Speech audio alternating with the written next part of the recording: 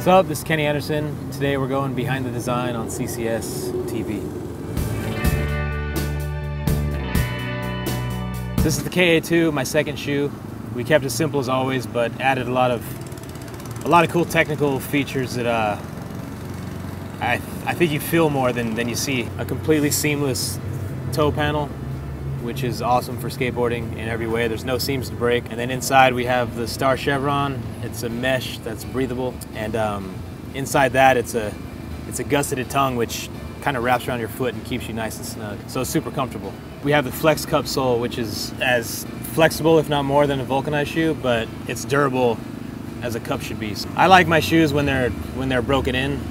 Right out of the box, these feel like like the uh, like an old chair, one you love to sit in. Good part about it breaking in right away is that uh, I mean, one you can feel your board really well with the sole, um, and usually it breaks down like the shoe breaks down pretty fast. But then uh, we added the Lunarlon, which adds so much life to your shoe and and your foot. This is like this is the best thing that ever happened to shoes, right here.